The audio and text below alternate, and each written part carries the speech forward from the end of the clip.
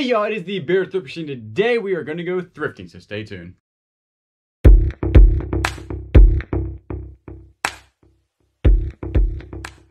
Alright y'all, if you're new to the channel, my name is Julian, also is the Bearded Thrift Machine here on YouTube, and I basically buy stuff and flip it online for a profit, for a living. So today I'm going to take you thrifting with me, so let's go ahead and get started. It is 8 o'clock, so they did open at 8, so almost a little bit later than I wanted to be.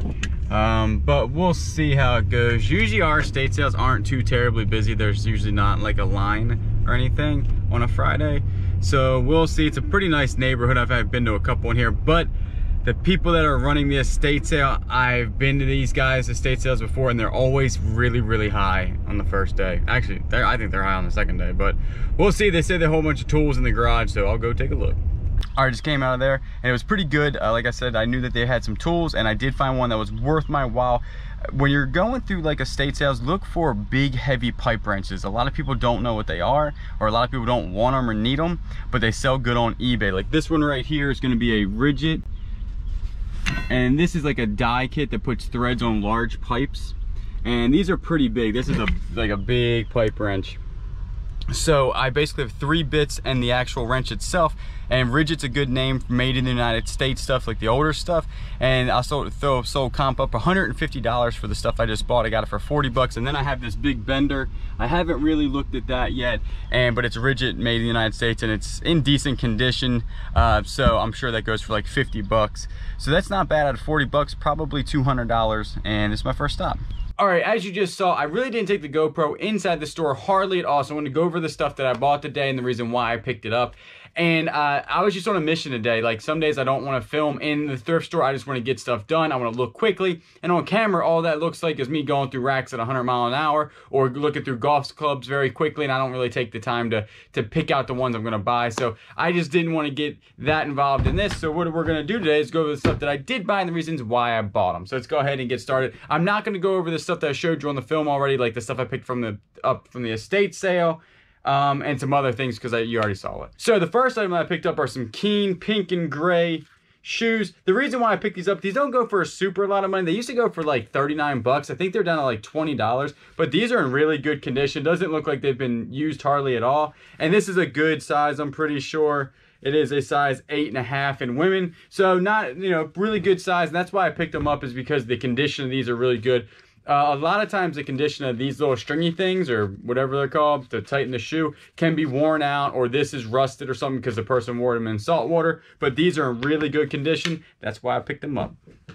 Um, I think I already went over this, but the chef's knife uh, sharpener. These things are always good to go. I'll tell you that is if you pick them up, this is, it looked like it's new, but it's not. It just has the box. And this is what they look like and they always sell for me. I've never had one of these not sell, uh, and I've never had one not work. So when I go home and test it, it's really easy. They have like little blades in them, so what you want to do is just make sure everything looks nice and not like wore out, and that's really it. And I just, you know, make sure it turns on and sell it like that, and they always sell.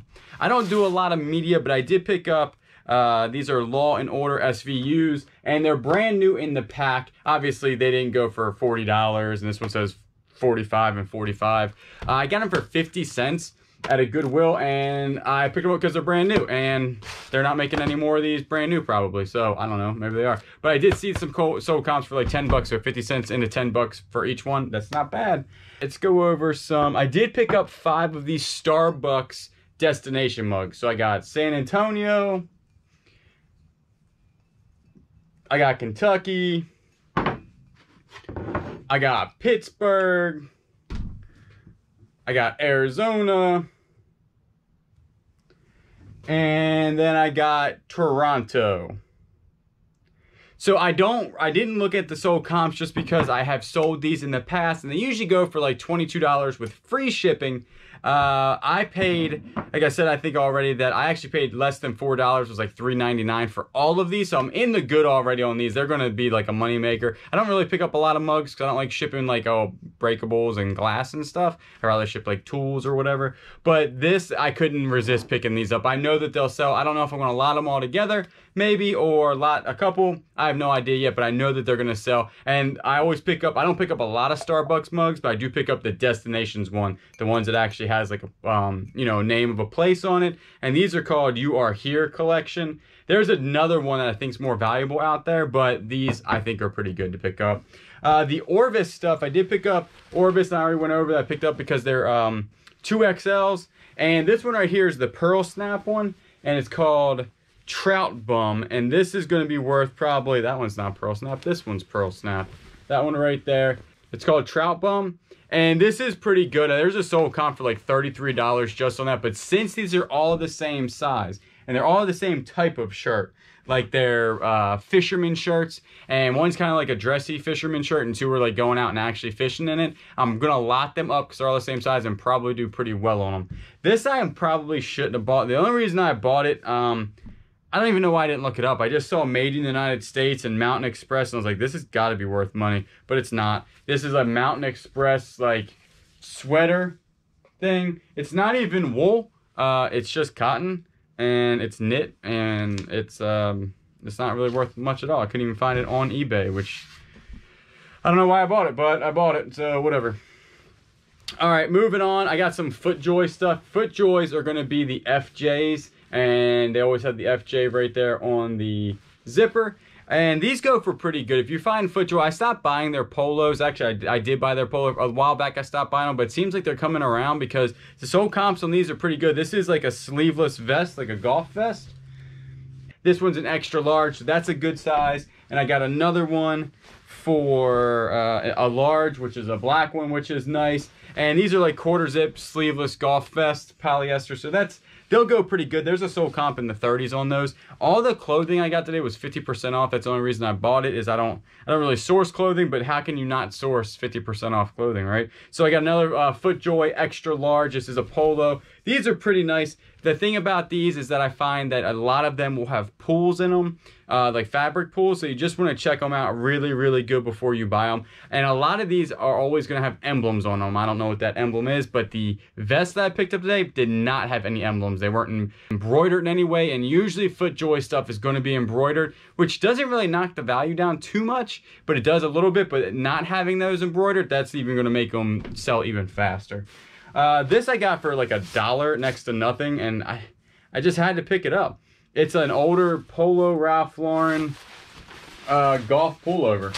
It's just a like a good old crew neck pullover. Got the polo on the sleeve. Um, I just had to pick. I mean, for a dollar, I, I can probably sell it for eleven dollars plus shipping, maybe. And then I did pick up a Levi's. Got this for super cheap too. This is just an old Levi's denim shirt like a medium wash or light wash. I always pick up denim shirts if there's some sort of name brand and they always sell. My not for a ton of money. I think I got a dollar fifty into that. It's probably gonna sell for like 18 bucks. And then this is the last thing that I bought other than the stuff that you already saw about the big tools is uh, this red little dish. And the reason why I bought this is because there's something called Cinnabar and begins with a C, C-I-N-N-A-B-A-R, maybe, I don't know. But it's a resin that they do and it actually has like mercury in it. I'm not at all some sort of expert on any of this. I don't even know if this is real. So basically, they do have this red tint on them and they, uh, a lot of times they have like a black back right here and they're worth a ton of money if they're real. I have not tested this one yet. There's a way to test it with acetone. You just kind of like move it back and forth and if this color comes off, like the red comes off, that means it's usually real and if it doesn't, it means it's plastic. Now, some of the things I looked up that Cinnabar is light because it's a resin. This is pretty light and it's going to be very detailed.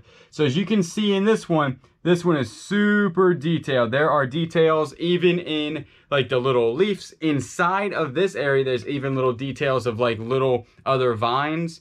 And there's there every square inch of this is covered in some sort of detail, which is usually what it is for the real stuff. The real, like the real old ones are uh, super worth a lot of money. Just know that something is out there that is called Cinnabar that looks like this, but definitely do your research because I don't know really what I'm talking about here. I know that, like I said, I know how to test this. I, I saw some things because uh, I looked it up before about you know what to look for about the no seam and stuff. But definitely do your homework because you could spend a lot of money on this and they'd be fake and then they're just reproductions and I don't think they're worth anything.